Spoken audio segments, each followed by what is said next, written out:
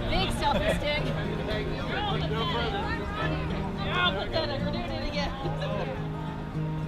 Other side.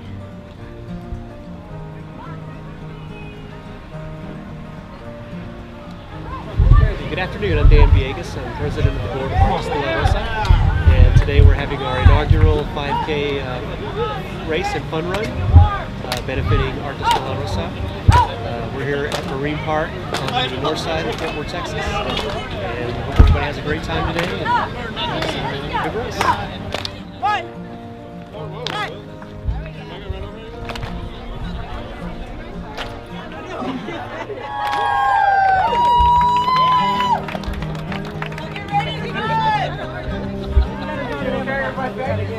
Welcome, everyone. It looks like we're ready to run and run fast because it's getting colder by the minute. So welcome to the 2015 inaugural Dia de los Muertos 5K Race and Fun Run. The Marigold